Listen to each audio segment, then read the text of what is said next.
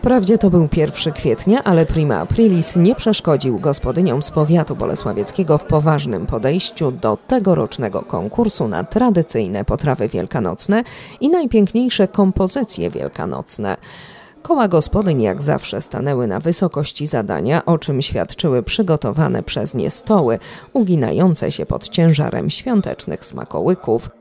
Nie pozostało to bez wpływu na atmosferę panującą tego dnia już od samego rana w szkolnej auli gimnastycznej w Bożejowicach, atmosferę, która sugerowała zbliżające się święta.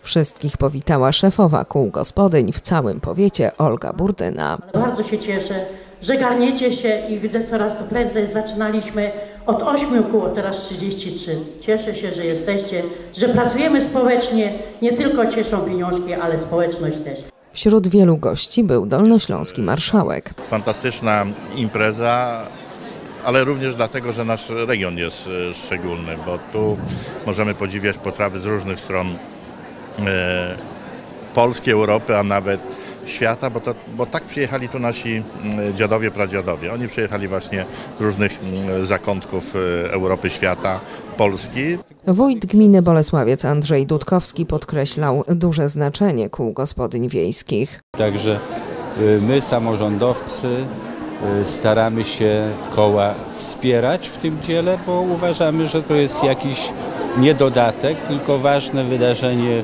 w życiu społecznym y, powiatu bolesławieckiego i takie przedsięwzięcia winny być w jak możliwie szerokim zakresie realizowane, bo to robimy znowu nie, nie dla władzy, tylko dla ludzi, dla kół.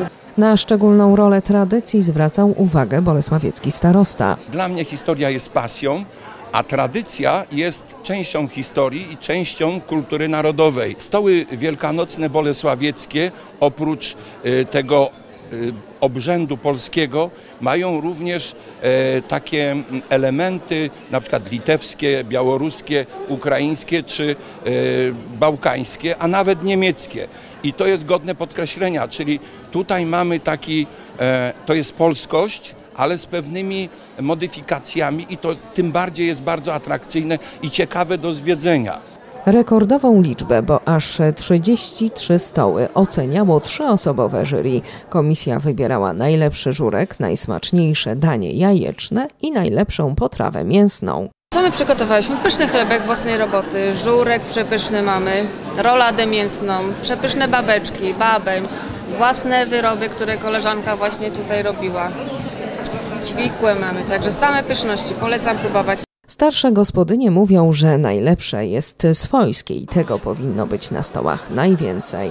To jest taka tradycja, żeby było dużo swojskiego. No, no teraz to już nie ma takich już gospodarstw, żeby tylko są duże, a kiedyś jak każdy miał Swoje. swoje wszystko i świniaki i to i tam to było wszystko Swojskie własne tak, wyroby, tak. Swojski oczywiście powinien być także żurek. Nie z torebki, tylko robiony domowym sposobem, na domowej kiełbasie, z suszonym serem.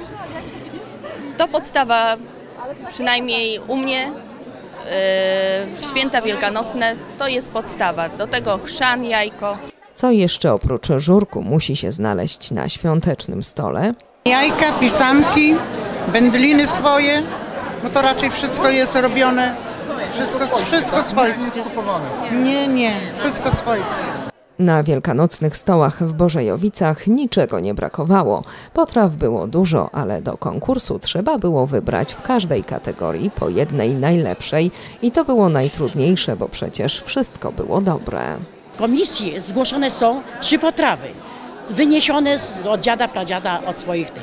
Ale już jest XXI wiek. Dziewczyny już teraz nowoczesności troszeczkę żyją.